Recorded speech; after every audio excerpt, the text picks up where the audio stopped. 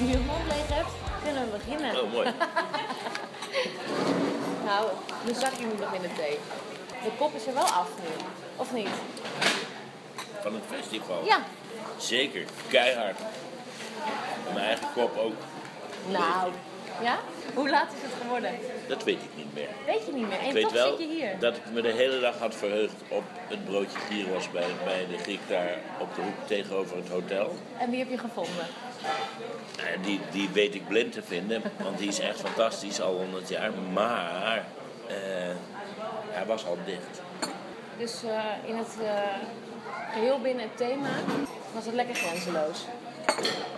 Lekker grenzeloos. Maar het was leuk. Was iedereen opgelucht en blij en zo? Want Erik schrijft, zegt het hier. Hij staat in de krant vandaag. Ja, En hij zegt het. Hij is zenuwachtig voor de aftrap. maar Erik is altijd een beetje zenuwachtig. Dus dat, dat is... Dat is niks nieuws. Ah, lieve jongen. Nou, volgens mij ging het goed. eh, eh, er zijn genoeg veren uitgedeeld.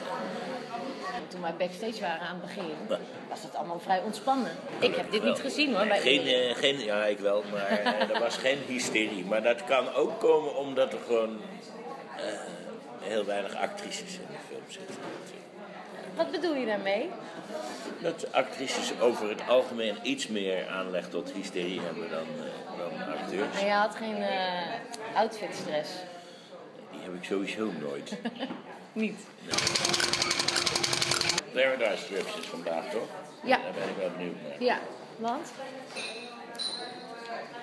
Ja, ik, eh, ik regisseer zelf een film en dat is dezelfde producent. En die, die eh, eh, was er heel enthousiast over. Oké. De verhalen vind ik ook goed. En ik ben dol op Jean Berg. Hoe staat het ervoor? Ben je klaar? Met draaien? Ja. Het staat er goed voor. En maandag komen wij met nogal spectaculair nieuws.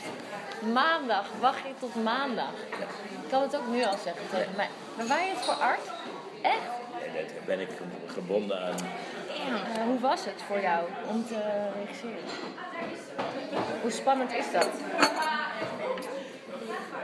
Ik vind tennissen tegen jou spannender. Ik heb overigens besloten dat ik eh, misschien toch een betere eh, eh, toeschouwer ben dan speelster. Dat nou toch. Waarom? Nou, ja, het is, heeft toch eh, een dubbelspel vind ik prettig, maar mijn single is echt verwaarloosd hoor. Naar, naar, naar, de vaantjes. Ja, en Kan jij? ik niet meer. Hoe oud ben je, man? je- nee, maar gewoon dat je gewoon je moet weten waar je krachten liggen. Nou, ik heb jou verslagen, dus wat dat aan gaat. Dat lag niet helemaal aan jou. Oh, dat lag nog niet meer aan mij. Ik bedoel, jij komt gewoon keihard met een drietje op de proppen. Dat gaat wel heel Ja, je moet En gewoon toen wel. was het nog hangen en burger. Maar goed, uiteindelijk weet iedereen eh, de eindstand.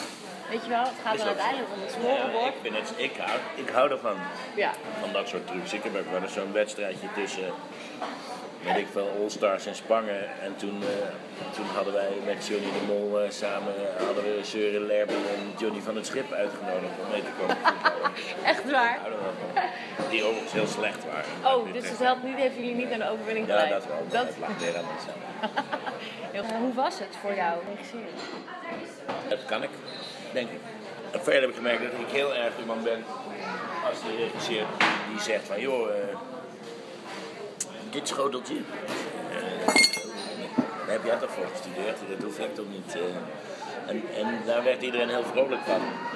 Dat je alles bij, gewoon bij de departementen laat die daar verantwoordelijk voor zijn. regisseurs die willen altijd maar alles bepalen, maar dat hoeft helemaal niet. Daar wordt het helemaal niet beter van.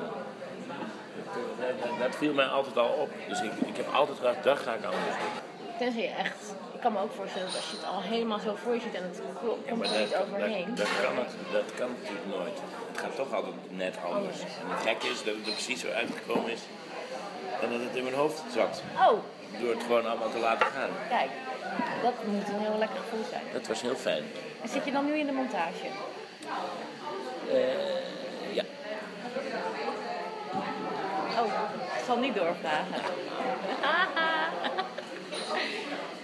en wie eh, moet hem winnen? In eh, categorie beste film? Nou ja, daar wil ik wel iets over zeggen. De beste film is de film die het meest heeft bijgedragen aan de Nederlandse film. Ja. Het afgelopen jaar. Dan had Michiel Ruiter echt bij die vijf nominaties moeten zitten op dat criterium. Omdat die, die, die, die opent een hele nieuwe wereld voor ons van kijkers. Dit kunnen we ook. Als je 2 miljoen bezoekers hebt voor Gooise Vrouwen, dan, dan eh, eh, heeft dat, heeft dat echt iets bijgedragen aan Nederlandse films, dan zou, Namelijk aan de, het publiek trekken naar de bioscopen. dan zou dat erbij moeten zitten en dan zou Michiel Ruiter er ook bij. Staan er allebei niet bij. Nee, Dus wie moet hem dan winnen dan? ik heb ze niet allemaal gezien, dus daar durf, daar durf ik geen uitspraak. Dus we moeten vanavond naar Blue Cloud. We hebben er in ieder geval weer één gezien. Zo is het.